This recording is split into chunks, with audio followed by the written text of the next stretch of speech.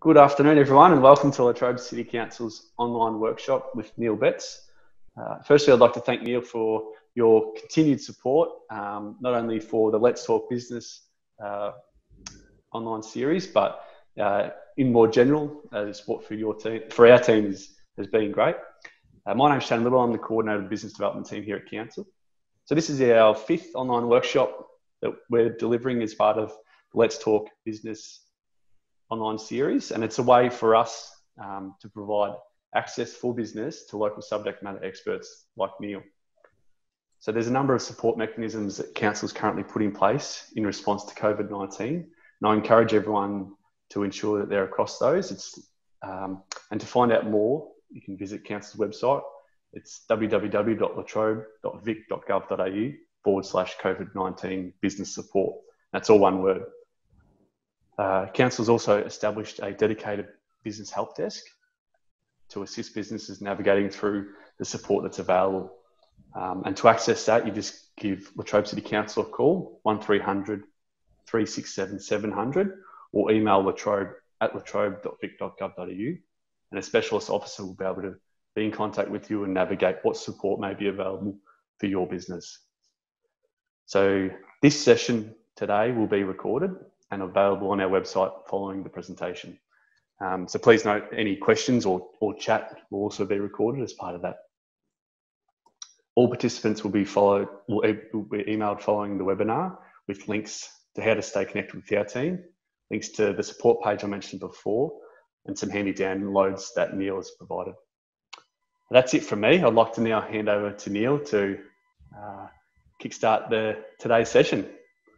Thanks, Shannon. So, first of all, I'd just like to thank you and LCC for giving us this opportunity. Um, welcome, everybody. My name is uh, Neil Betts. I'm the Director of Business Outcomes here at Inter Project Management. We're a local business, been established since 2013. We're in the Latrobe Valley. Um, and look, you know, I'm fortunate that every day I get to work with businesses just like those that are attending this, this webinar and probably those that are listening fortunate that I get to work with them every day, business owners and individuals, to really help organisations see and understand and solve problems and ultimately, you know, help them improve and reduce their cost to serve. And the reason I do this is because we're passionate about, particularly our local community, we're absolutely passionate about helping organisations to uh, succeed. Um, our vision is actually to enable everyone to solve their own problems, and our mission is to try and inspire people to become lean thinkers and create more value, not only for their own organisations, but for their customers, but more broadly for their community and for your own personal development. Um, so I'm just going to take you through a little, little, bit of an agenda today. I've got a fair bit to get through. I want to just talk a little bit about us and what we do. I'm going to hook into what is continuous improvement, um, talk about how we categorize problems in our world, and then dive into the A3 tool. And whilst the A3 tool is a, wonderful tool, it's actually the process that's key to this. It's, it's actually the process of improvement and how that works that we really want to hook into. And at the end, I've got a little bit of an offer, and uh, we'll pick that up if you survive to the end with my Pommy accent. So I'll get straight on into it.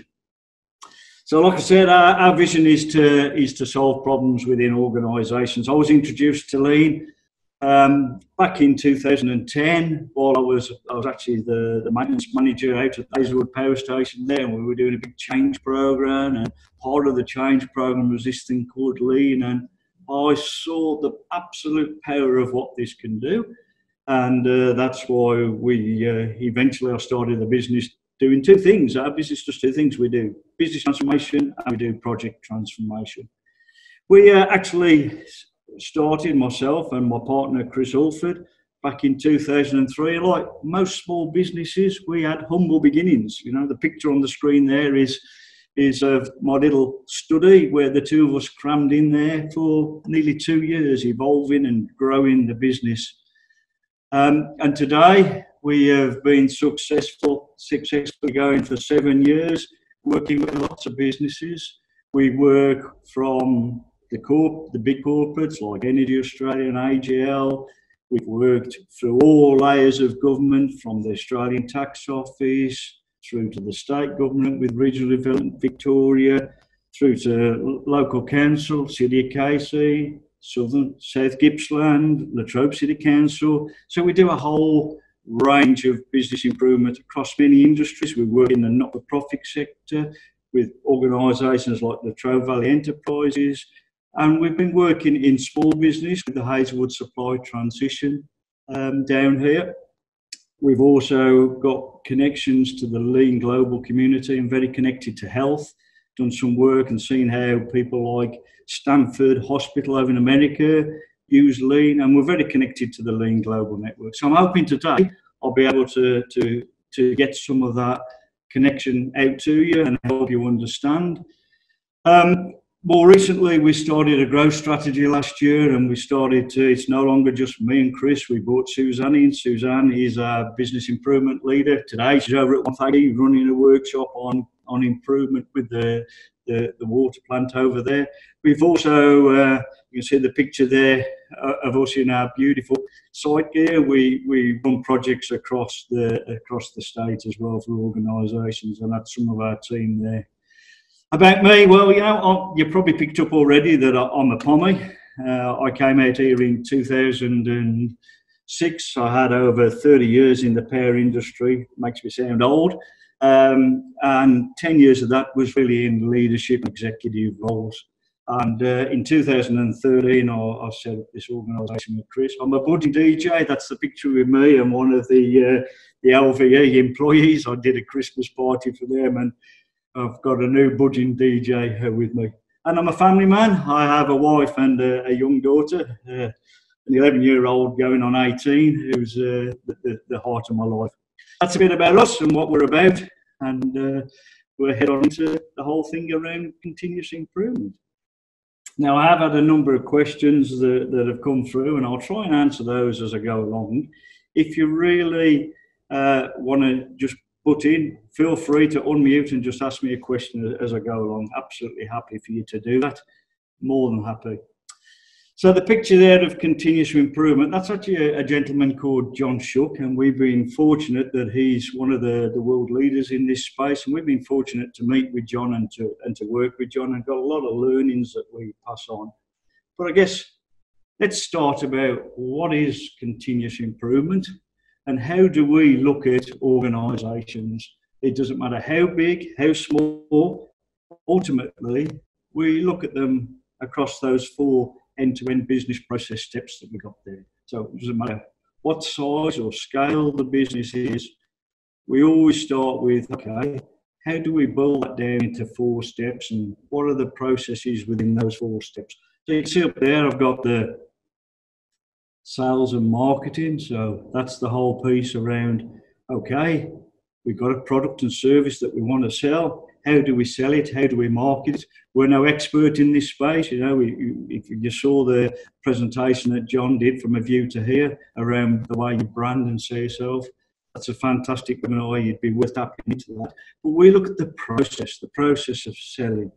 You know, you've you, you've basically only got ten percent of the people who are the real buyers, 20% of people who are motivated to buy, 30% are toy kicker, kickers, and 40% are what we call the legends. But how do you determine who, how you're going to sell? How do you quantify whether you should be chasing the chasing these sales? What are your processes in that sales and marketing space? And then when you land a, a sale, that next step is around okay, how do we now plan to deliver our widget or our service, whether we're manufacturing or whether we're in, in a service industry? How do we deliver those services? And then the third step is the actual delivery of the service. You know, the first that, that second step is planning. What resources do I need? What materials do I need? The third step is more about how do I actually deliver that service? And then the fourth step are around how to achieve the business outcomes. And the most important one is getting the cash in the bank to sustain your business.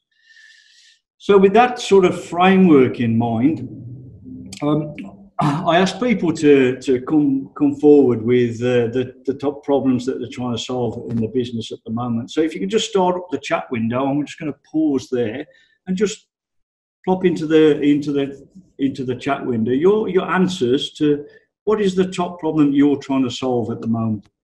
I've had a few come through um, through from Shannon. Uh, one around the need to document your processes I've had one around I need to be sustainable, an interesting one around how to develop an action team, corporate culture, very interesting culture. We're going to touch on culture and leadership in lean in a short while.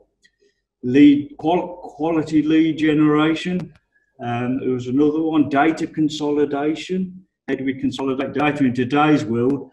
Data is is huge. Uh, thanks, Sankit. Removing waste from processes. We're going to talk about waste, and I'm going to talk about the, the different types of waste. Now, the question around, you know, what are, what is the biggest waste that we see when we go into processes, and I'll, I'll share that with you shortly. so it doesn't matter where your, your business process is that you, you've got problems with. All I want to teach you is some concepts and some lean thinking about how we go about this. And ultimately, you know, you've got a product or service that you want to deliver, and you've got a client that is looking for some value. And really, this is the heart of lean. The customer is the absolute center of what we do. So, the definition of lean is our ability to create the most value in the eyes of that customer from that customer's perspective while utilizing the fewest resources that we can and the talents of our people. I've worked in so many organisations where there is real untapped potential of the people, and that's a real big thing about lean, about trying to trying to involve everybody in the whole notion of process improvement and tapping into everybody's ability. It doesn't matter who they are. There's lots of people who are touched up and downstream on, on processes. So that's really the, the, the, foundation of lean is creating value for your customer or using the, the fewest resources and utilizing the talents of your people. But the history of lean goes back a, a long way. It's um, it, it, goes all the way back. and I'll just flick this. I'm not going to spend too much time on it. It goes all the way back actually before the 1900s. You've got people like Frank and Lillian up there on the left hand side. Frank was very much a time and materials man on the stopwatch, how long to do the task. Yet his wife was more about getting into the into the human psyche about what motivates people.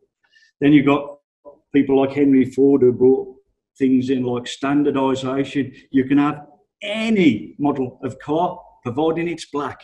Standardization. Then you've got the, the quality movement, people like Deming that you've probably heard of with the plan, do, check, and adjust, through to the sort of founders of what lean is today, the architects of the Toyota production system and then through to the more modern era where you've got theory of constraints and Six Sigma and stuff like that. All these things all come together that really bring a set of tools and thinking to what lean is today. And we do a lot of work, you know, in startups today. We do a lot of work with a lean startup about testing hypotheses and getting going on, on lean. So lean's got a, a big, strong history and it's got lots and lots of tools that are, are, are, all a part of it, and my little pointer's just stopped working. Um, so, what I want to be able to do today is just walk you through some of the concepts uh, of, of, what goes into to lean. So, if this is all about the customer and the value we're going to create for the customer, the customer has got to be at the forefront of our mindset. So, we have to really understand what adds value in the mindset of the customer. So that's a real fundamental to lean. Then we need to identify in our process how do we create the value through our process and how do we take out anything that isn't creating value? What is waste in that process? How do we take out waste? And then how do we create a flow through our process at the pull of the customer? You think about McDonald's years ago, they used to have the burgers under the heating lamp. You turn up and you'd buy your burger that was just there and had been there for a period of time. Whereas today, it's it's at the pull of the customer. It's just in time.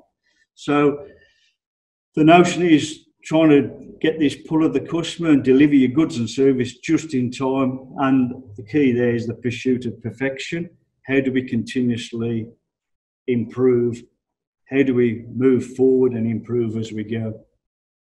We talk about waste a lot, and uh, waste in a in a, in a process in our mind is anything that there's, a, there's an acronym Tim Woods and the T stands for transport things that are moving, moving product from a production line to another part of the production line. Inventory is the I, is the unfinished work, stuff that we haven't done. The M is motion, searching, sorting. We see heaps of that in the service industry, trying to find for files. We've got a rule in our business. It's the five second rule to find any, any document that we want. We don't always match it, but that's what we're striving for. So motion, the sense of searching. The W is for waiting. A lot of this goes on in the service industry. We're waiting for stuff. I'm waiting, I'm waiting, I'm waiting for approval. Overproduction, we make too much. Over processing, we put too much in that's adding addition, additional things to our product that our customer doesn't actually value. Defects, you know, things that aren't right, and probably the, the one in the human psyche is the whole piece around skills and not utilising the skills of our people. So that's it in, in terms of the sort of concepts and thinking that are going around there. So there's a bit, I, I apologise for the, some of the Japanese te- uh, terminology in here, but the key concepts are around understanding where we create value that value that the customer wants and where do we create that in our process, taking out the, the waste that, that's giving us overburden or in, unevenness and not giving us stability, trying to standardize the way that we deliver our processes. One of the questions that came through was, you know, what's the biggest waste you see? And I think the biggest waste I do see is that a lot of people do things differently. It's the same process, but different people do it differently, and some are good at it, some are not so good at it, and that's probably where the biggest waste is. In the service industry, the biggest waste today is paperwork. I see whether that's in a digital sense or whether it's in the physical sense, searching, finding, sorting. Um, creating that continuous flow, having the pull at the customer, doing things just in time, and Visual management is a real key piece of lean. But the key importance and the real thing about today in the webinar is problem solving by everybody in the organisation. If you can teach people to problem solve and bring those skills up through the organisation, the power of that is tremendous in helping organisations. So that's really the um, the key thinking. And one little tip I want to give you around waste before we get into problems is trying to understand why problems exist is really difficult. Doing that root cause analysis and deep diving deep, people find hard. But you know, actually, this is a simple tool that I'm just showing you there called the five whys. It's a simple foot tool for drilling down and finding issues in in processes. Because what you're trying to find, you're trying to get down to what is the real thing that's causing my problem? What is the true problem? And you can see there, you know, nurses are complaining. So we ask the why question. Well, why? Well, there's extra work for the nurses. Well, why? Well, the patients are being moved to other rooms. Yes, but why? Patients are submitted to the wrong room. But why? The data entry operator made an error. Why? Because the forms are difficult to fill out. Or you can say there's another pathway, it says the software is inflexible. But is that the true problem or is that the cause? What is the what is the what is going on with these nurses? The extra work is therefore reducing their efficiency. So the costs are increasing, or the patients are confused and upset. They're the true problem. So using the five whys is a real simple tool to uh, to get to help with problem solving. So if you have one takeaway from today, use the five whys. It's an incredibly powerful tool. Um, just flowing on. So that was the, the key concepts around there. The other key thing in uh, in this is something that Deming came up with in continuous improvement. the plan, do, check, and act. We call it adjust in our world. So you plan to do something, you go do it, you check how you've done, and you do some adjustment. You put the peg in, a bit like Lupin's chance theory. You put the peg in, you do that adjustment, and then you keep learning and improving as you go on. So plan, do, check, adjust is a fundamental part of, of business improvement. And then finally, the actual lean transformation work. This this is a, a whole model around how we approach organisations for for organisational transformation. And probably one of the biggest things that we see is often the value dream, the value driven purpose, that roof that's on the house there, often people struggle to define that. And this is at, the, at the top of an organisation. If your value driven purpose is to make money, it will take you down a certain path. If your value driven purpose is to actually give people who are disabled employment, it will take you down a certain path. So, understanding your true north, your value driven purpose is absolutely key. And then in an organisation, once you've got that, there's work to be done. And in that work, there is probably improvement that can be made. So the first pillar there is the piece around process improvement. How can we improve the work that we're doing? What's the current state? What could the future state look like? And what's the gap? So that key pillar there is around how we do the work to actually deliver our value driven purpose. Then the other pillar is what capability do I need in my people? What's the capability that I need to actually go and improve the process or run the process? What capability do I need in my people? And then we've got the piece in the middle, which is around the, the leadership and, and what we call systems. What do I need of my leaders to empower my people to actually find problems and solve problems for themselves? And what are the management systems that I need in place to, to manage that business? And I've been in many organisations and in local government. I've seen software systems that are enablers to process. And, you know, I've seen organisations with over 120 different software applications not linked together, real heaps of waste in that systems piece. So, systems are really important. But all of this is actually underpinned by some, some real th- fundamentals like respect for everybody, by problem solving, by the plan, do, check, adjust, and by a thing called Gemba, which we'll touch on later. Um, so before we get going in this piece, we start to ask ourselves, there's some questions that can draw out from an organisation, the problems. What are the problems that you're really trying to solve? What's really standing in your way to, today? These are open discovery type questions. What does success look like to you? What does success look like? What have you done already to try and solve the problem? You may have put some improvement in place, but it's not addressed the problem, or it's addressed one part of the problem and created some upstream or downstream effect. What will happen if you don't try and take the next step? So these are open, real open questions that we can ask about how we think about process improvement within an organisation and what do you need the most right now.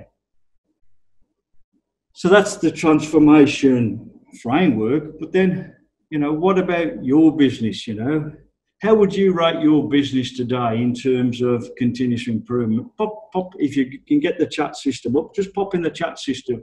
How do you rate your business today? Where one is you're not at all in the continuous improvement space, or five, it's embedded in everything you do. You know, none of us are perfect. Continuous improvement is in our DNA and it's embedded. Sharon, three out of five, well done. Michelle, in the middle, smack in the middle, two and a half. Thanks, Jonathan, two and a half. So it's it's around how can we, you know, what do you aspire for that to be. If you aspire for that to be a three and you're a two and a half today, there's a gap, and we just got to look at what that gap is. So I've just uh, given you a broad overview of how we think of continuous improvement today. what I want to do now is just start to drill into okay, what about problems? How do we discover problems? How do we define and categorize problems? And I guess it's, it's really important to understand this. There are four types of problem. One, two, three, four. Fairly straightforward. Number one, I have spent most of my career in this space. This is the firefighting space. This is the we're troubleshooting. Something's happened today. I need to deal with it. It's the it's the reaction to a problem that's actually causing us issues today that we need to address. So it's it's troubleshooting, and the way we respond to that is obviously very reactionary. The second type of problem is where we have a gap from a standard. So we have a standard that we've set, but we're not quite meeting that standard. There's a problem that's occurred, there's something that's stopping us meeting that standard. So that too is a reactionary type problem. We have to react to that where there is a gap from, from that target. Then we have the target condition. This is where we're meeting a standard.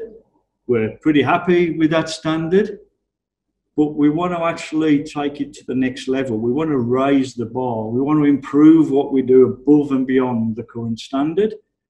So that's a proactive response. And then we have the the type the type four that we call it, the, the vision orientated, the innovation, where we want to actually break the break the barrier and just leap into the future. So what we have here is really we have those problems that are reactive and those problems that are proactive. So where are you today? Just pop that in the chat. Where, where's your organisation today? Where do you think you're sitting there? Are you in the reactive? Are you in the proactive? Oh, are you sort of in the middle? Because I've spent most, most of my career has been spent in that one and two. Where are you today? Where do you see your organisations in the types of problems that you're dealing with? Yeah, two to three. So I guess what we really need to do now is have a look at, regardless of those problems, how do we actively find solutions? How do we get out of this reactive mode and start getting proactive and start raising the bar and start moving forward. So that's where I want to spend the, the, the last 30 minutes just talking through the A3 and the A3 problem solving and what it can do for an organisation and the template itself and the process. And uh, we'll pass you this at the end of the at the end channel. We'll put this in the pack for you. So, the A3, it's a, it's a tool, it's a, a process, and it's all based fundamentally on the plan, do, check, and adjust. It's a, it's a problem solving process and a problem solving tool. But it can be used for lots of things. It can be used for proposing improvements. It can be used, as it says there, for standardisation. It is an extremely good communications tool. If uh, any of you saw Leah's uh, webinar a few weeks ago, she talked around the, the, the circle of concern, the circle of influence, and the circle of control. The, the A3 process gives people that option to express their concern, to actually do some influence, whilst they might not be able to control some of the stuff that's going on. It actually is a great communication tool. It can be used for planning, it can be used for reporting, it can be used just for reflection on a process. It can be used as a simple project and change management tool. It's great for sitting down with a group of people and getting alignment and agreement um, I did a piece with the uh, the ATO years ago where I got the ATO and I got their service provider IBM and we sat down and you could see there was a massive disagreement with what was going on and the A3 just tailored this discussion and got alignment. It's great in organisational development, mentoring, coaching, but what is it? What is this tool? And more importantly, what is the process? Because it's actually the process that's key to this, not, not the tool. So fundamentally, most people know where they are in a process. They know the current, what we call the current state. They sort of have an aspiration to what good could look like. They've got some idea of what good could look like. And really, it's that gap that really identifies the problem. So once you understand your current state and you can aspire a future state, you can actually start to understand the gap and break that down into some thinking that can help you problem solve. So the actual process itself is actually fairly straightforward and it's the process not the tool that's the most important i can't stress that enough the tool itself, it's an A3 piece of paper. It's why it's called the A3. It began years ago with Deming in the, in the 60s and it's been evolved over time. And it really does tell a story around the problem that you're trying to look for. And it, it, it's all on a page. So it's a problem on a page and it's described on a page for a reason to try and force you to be concise with what's going on to try and help you really understand what's going on and, and put it all together. But ultimately, that's the tool, but it's the process that brings it to life. So the process is extremely, extremely powerful to help bring people together to communicate and understand. And like it says, it fosters a dialogue. That communication piece is really key and it forces the 5S. I don't know how, many people have heard of the 5S model, where you, you sort stuff out, you set everything in order, you make it shine, you standardise and you sustain. And this is not this, it can be done in the context of it's a workshop and I want to make it look nice and pretty and find all my tools, but it can be done even in service industry. You know, you can set sort out all your documents, set them in order, make it shine so you can find everything, standardize the way you do things.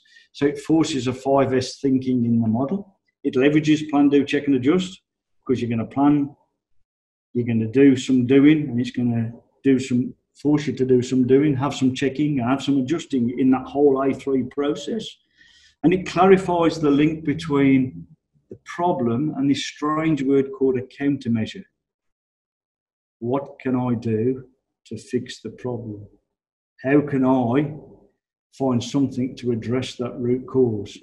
And it encourages frontline thinking and it develops problem solving within an organization. And I guess, you know, if I got, I've worked in so many organizations here in, in, in Latrobe and so many things that are, so many stories about the power of this tool right from you know my Hazelwood days where we were working with the storemen and you know the thing that those guys got the most frequently was the furthest away from the stores counter. They walked um, not quite miles but they walked a long way down a warehouse to go get the ppe which was the most frequently got item but nobody thought to move the ppe closer and when we unpacked that with the A3, the solution was to actually provide this thing in vending machines where the customer needed it, right on site down the mine. That was the thinking behind it. How can we actually look at this from a customer's perspective? What does the customer value? He probably doesn't value going off site to a store to go get some PPE to come back on site. He probably valued to be able to get the equipment where he needs it. So the A3 helped us unpack that. So if we just go a little bit further into the, the thinking of the A3, the, the key here is to try and identify the real problem. What is the real problem? Why does it need to be addressed now? Who owns that problem? Can we identify what the real issues are? Can we think about some countermeasures? And when we choose some countermeasures, How do we know what's the right thing to attack first? How do we identify the priority of those? How do we get agreement amongst people who are concerned? How are we going to implement it? How are we going to plan? And how will we know if we go and make a small change that our countermeasures actually worked? How do we know that? What issues can we see? And how will we keep that continuous improvement notion going? So the thinking behind it is more important than the tool itself, because it's the thinking that really helps us define the, the process for unpacking the problem and trying to address with solutions. And the, whole notion of lean is we don't find all these big things that need fixing and go fix them. The whole notion is for iterative improvement over time with this lots of plan, do, check, and adjust cycles to help us iterate improvement over time and get us to our future state. And often we'll make changes in an organisation and we'll get to a, a, new state and we won't have even seen a third state or a fourth state ahead of us because it was just too far in our thinking. So the A3 thinking steps are, are, are really important. And I guess the real key is the process, not the format. So you have a problem, what's the thinking we're going to do to address it? And then we pop that idea out into a tool. So it's I can't iterate that enough around it's all about the process. So I just want to stop there and check in with you. Uh, how are we doing? Have you got any questions you'd like to raise so far?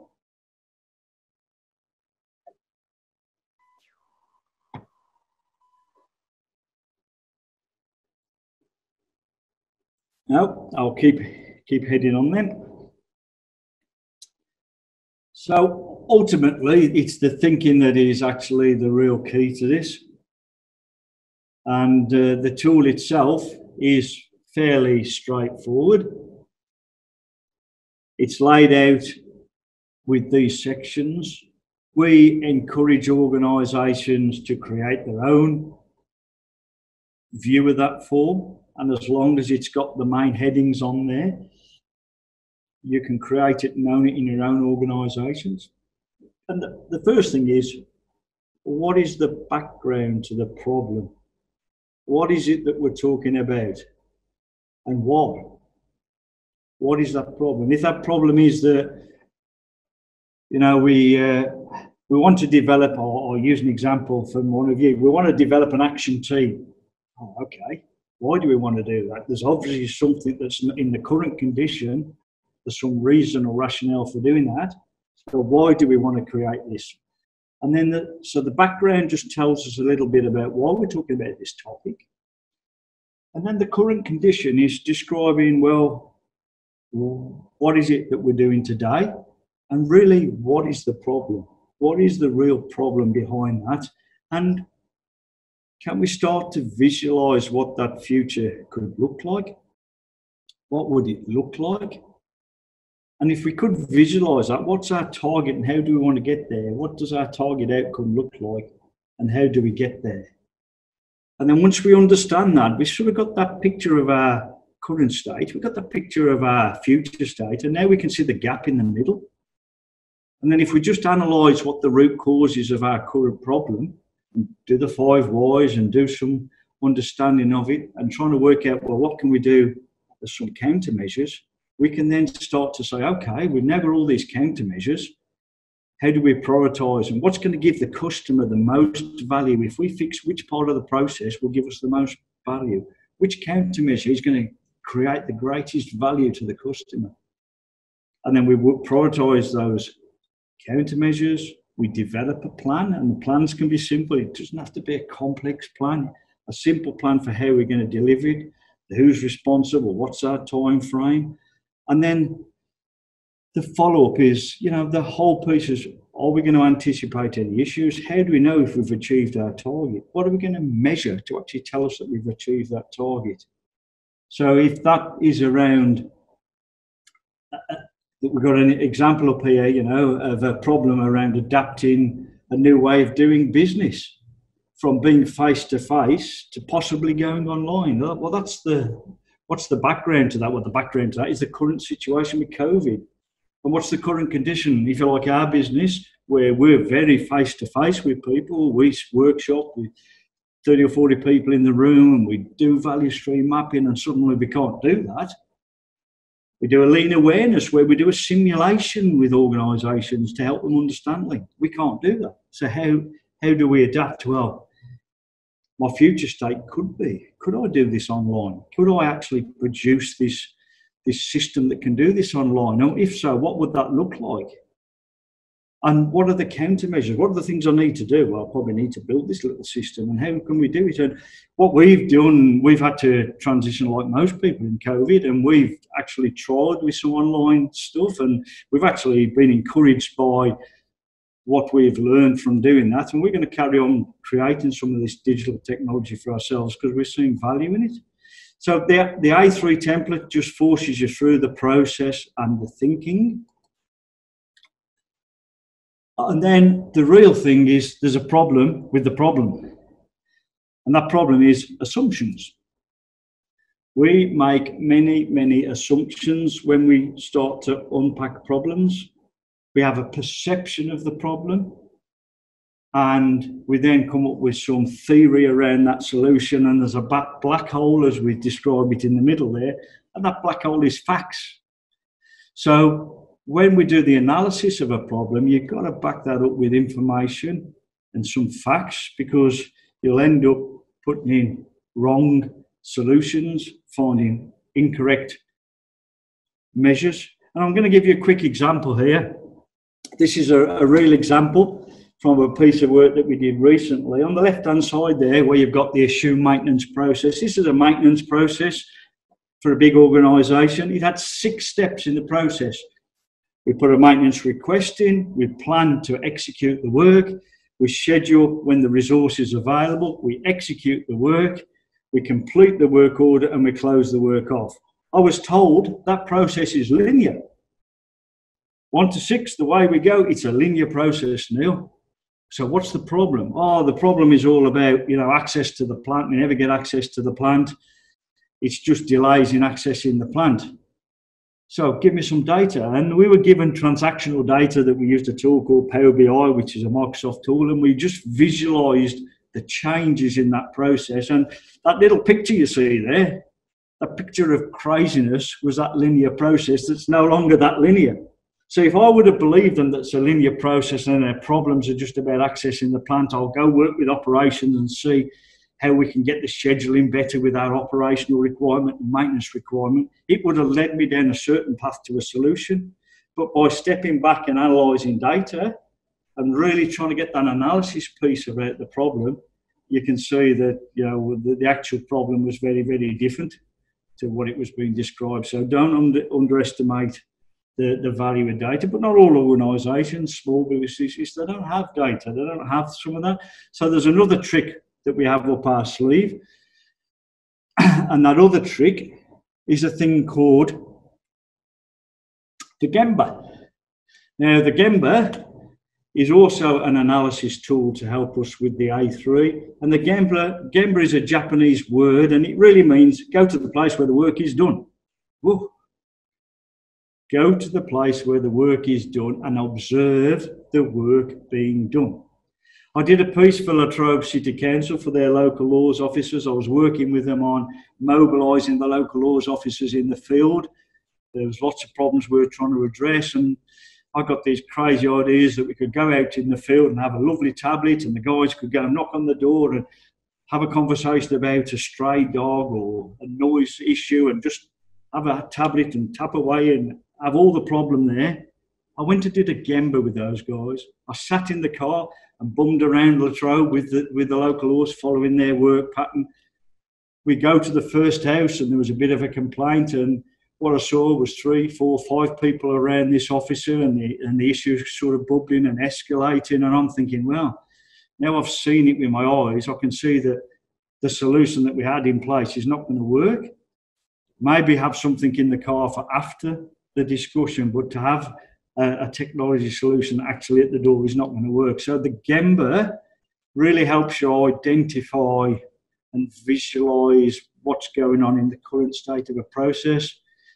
I've done this with organisations where I've sat in, in call centres and I've put the headphones on and I've listened to the girls answering the calls on the call centre and gone, oh my gosh, now I can see the problem. You get to see it by going and doing this work, but you need to just plan out how you're going to do this, identify what's the purpose, what is it, what is your purpose, how do you understand that you're going to understand the process you're going to observe, what's a good time to go and see it. You know, I, I observed a production line recently at a, a, at a local manufacturing plant down here. And, you know, it's no point me turning up at tea break to observe a production line when there's nobody around the production line. Uh, that example is a great example because observing where the value is created, well, the value was actually the widget going out of the end of the production line. That was the value that was created for the customer. So understanding where that value is was key and understanding that all the other pieces are just adding to that value. Observing the process. So when I saw every three or four minutes, a machine stopped because it was blocked up with nails, and somebody going and whacking it with a, a, bit of a hammer and getting the nails flowing again, and then away we go. And once you observe that, you start to see. And there's other tools that you can use for actually measuring. You know, we, we knew in that case how many widgets per hour we should be knocking out. And we just measured how many we did over a, a different set of periods, and we suddenly got an efficiency measure, a real measure of how widgets were being created. So actually, understanding the Gemba and going and having a walk, it's a real easy thing. Just go to the place where the work is done and observe what's going on and try and try and understand that current state of your process. And it doesn't matter whether you're looking at a, a service where it's a document management system. We just done one recently where we looked at the document management system and going, oh my word. And we've got some data, and the data said, well, all these documents are reviewed every three years, and every three years, two people in the organisation suddenly have a backlog of a thousand documents to approve. You've just got to adjust your timing or go back to the principles of which of these documents is actually adding value to the customer. Which do we have to have that are regulatory? Which don't we need? Have we got too much? Are we over processing? So going to the Gemba helps you see that. And when you go into a Gemba, there's a few things you need to do really, and it's just try and map out what the process looks like. There's a step one, step two, step three, step four. What are the things that are happening in that process? What are the questions we should be asking? Do we see any errors? Are there any rework? What's going on? Is there any rework that we can see in there? So the Gemba is a real good place in the A3 to actually have a, a, a, do the analysis. If you've got data, that's great. If you haven't, go to go to see what's going on and observe the simple steps in a process and find the errors, find the rework, and start to think then about what the future state might look like in those countermeasures. Neil, I've just sent through a question um, uh, on the chat. Um, do you ever find that you know when you you're you're either consulting or it's part of um, you know the delivery team doing the work, but you know a bit of pushback from that observation piece. How do you how do you sort of get around that? You know, you, you don't want to make employees on the front line feel that they're being you know watched or um, it's a fantastic question. I, guess the, the, the hardest transition for me into this country was sort of stepping back a bit and going into that unionised culture that I went into in the power industry. And there we are. I was put into a place that we were trying to bring lean into an organisation, and everybody was sort of counter to that. We're not, I get that. This is all about cutting costs, getting rid of jobs. That's what it was portrayed at in the organisation. But it's, it's about clear communication about what you're doing, that this is actually about trying to find waste, taking the waste out of the process so we can add more value and we can shift that value to focus for our clients. So it's creating the value. And if we do free up more of your time, we can put that time and effort back into value creation for the client, not but not in terms of jobs gone or whatever it means. And the key to doing that is these next couple of slides, and we're nearly at the end, is it's about the leaders, Shannon, and how we actually how we actually communicate and how we actually enable people from the bottom up. This was a process um, that I talked about there, where we were doing some top-down redesigning the the actual vision and the mission and what we wanted out of leaders. That was all being redefined in the organisation. But we wanted bottom up. We wanted to, the word empowerment's used a lot. We wanted people to, to have ownership of their process and be able to, to solve problems for themselves. Me as a manager, I'm not probably best placed to fix what's going on the production line. It's been a long time since I've been on the production line. The people on the production line are the most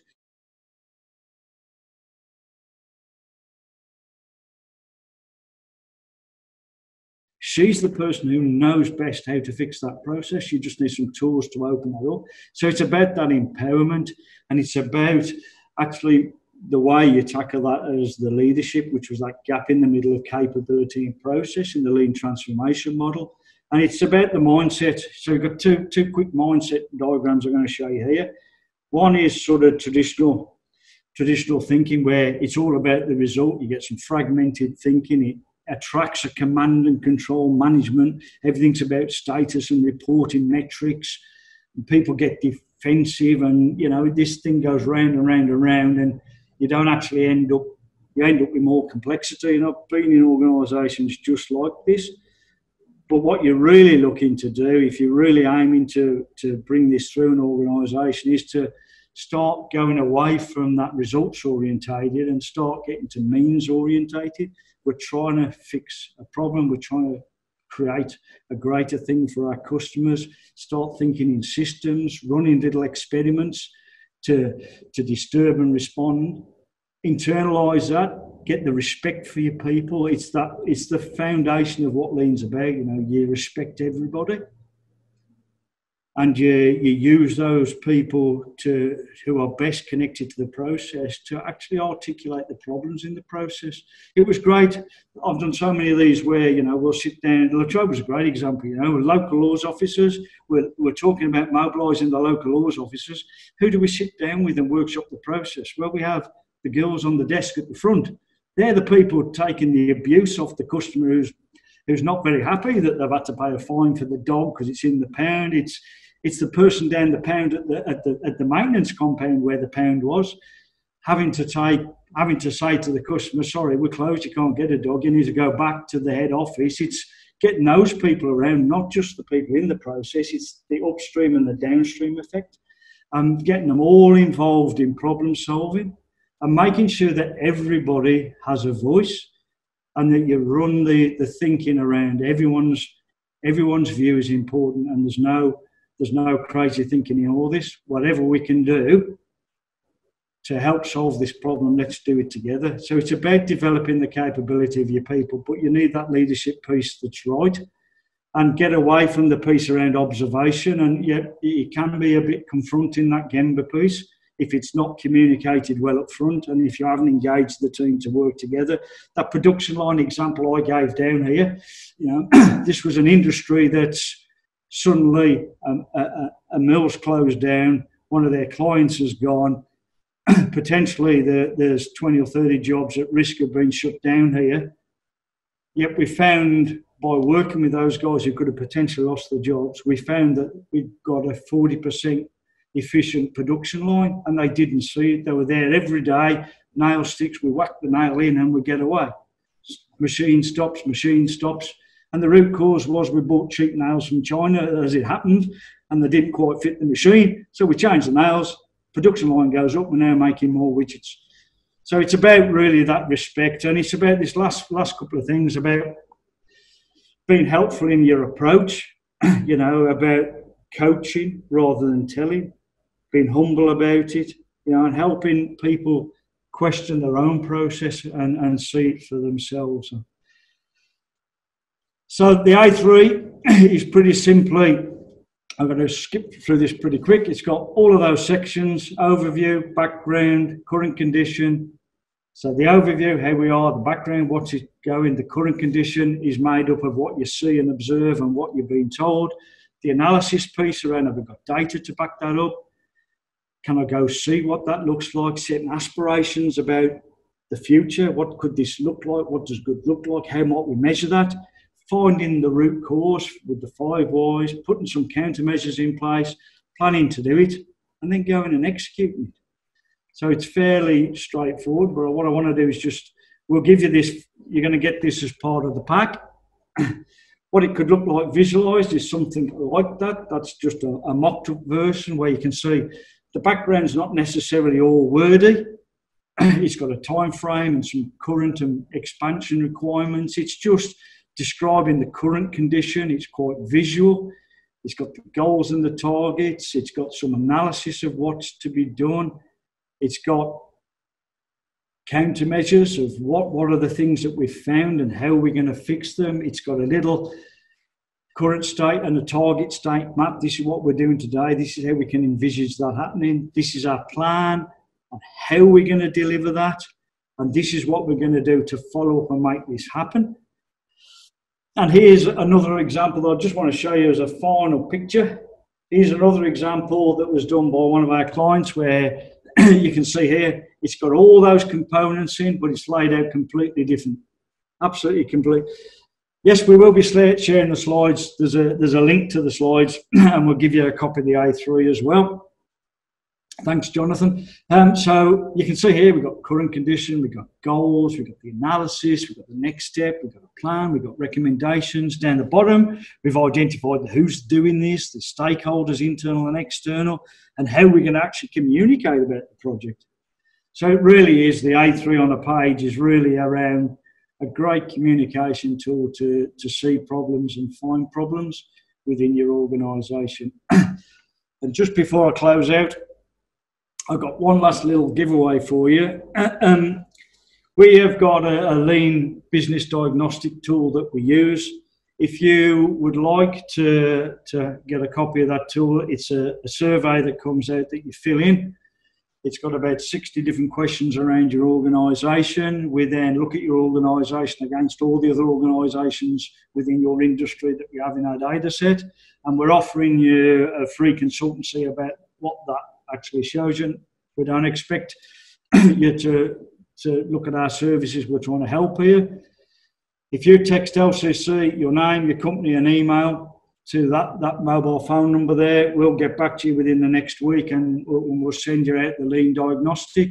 You can fill it in. Once you fill it in, the results will go into our visualization tool and then we'll give you a call to organise a, a, a meeting to give you the playback of what we're seeing in your organisation. So if that helps you, please feel free to do that, and I'll get Shannon to pop those details into the slide. If you're listening to this post the event, the, the number's 0400 552 247. Just text that through, and we'll, uh, we'll, we'll we'll give you that. So I'm hoping I've been able to give you a bit of an overview on lean. And uh, once again, Shannon, I thank you for the opportunity.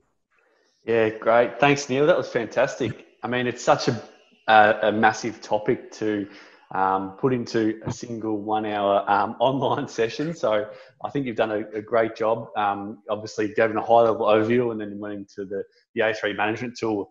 Um, you know, I was I was busy, busy um, taking notes um, uh, around how we could apply them in our team at council. I think, yeah, some some really good nuggets. I like that five seconds to find, uh, you know, find a file because. Uh, um, we had Alison start yesterday, and I was going through our files, and it's um, it's kind of a mess. So, I mean, that's one little takeaway. That's probably some some homework for me over the next uh, couple of weeks to try to get in order to try to reduce some of that wastage. So, I really like it. Um, really appreciate your time, Neil. Um, sharing your your your knowledge and expertise in this area. Um, you know, it's it's it's fantastic to have a local resource um, like yourself here and like the other presenters that we've had. Um, you know, this this uh, Let's Talk business series is all um, all around um, tapping into local resources that businesses have available to them. Um, you know, sharing some some. Uh, all credit to you, Shannon, for the idea. And there's some great businesses locally down here. Many many businesses that can help. Yeah, exactly right. Um, so it's probably a good, great segue into next week. We've got um, a, a, session with Lifeline Gippsland.